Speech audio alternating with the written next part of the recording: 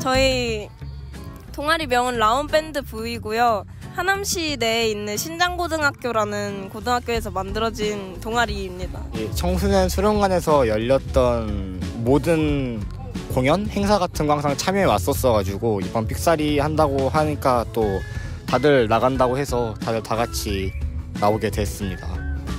미사 삑사리 저희도 되게 어, 호기심을 가지고 시작을 했는데 다들 7080 어땠어? 몰랐지 잘 처음에? 어, 처음에는 공지가 떴을 때 뭐가 확실하게 정해진 게 없어가지고 좀 걱정이 많긴 했는데 이제 엄마 아빠 세대 이제 엄마가 약간 72년생, 71년생 막 그러시다 보니까 약간 엄마가 집에서 많이 듣던 노래 그런 식의 7080 노래를 많이 들었었는데 그래서 이번에 또 저희가 하는 곡이 신해철 곡이어가지고 되게 약간 재미있는 경험이 됐던 것 같습니다. 옛날 노래를 막 많이 아는 편은 저는 아니었는데 이번 기회로 많이 알게 된 것 같기도 하고 아 이게 이게 그때 노래구나 했던 애들도 되게 있는 있어요. 이렇게 공연하게 돼서 기쁘고 즐겁습니다. 생각보다 너무 재밌고 멘토 선생님들이랑 합이 너무 잘 맞아가지고 무섭고 뭔가 네, 처음 되게 긴장했는데 저희 다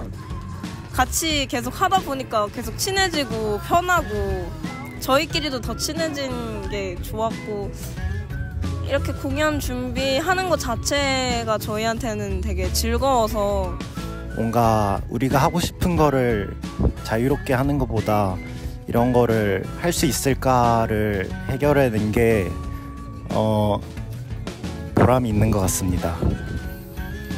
재밌습니다.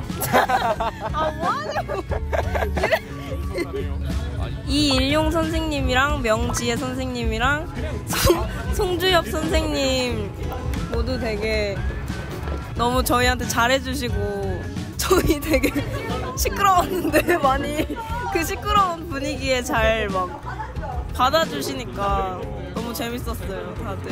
그, 그래서 되게 감사했습니다. 하나 둘 셋. 라운밴드부 화이팅!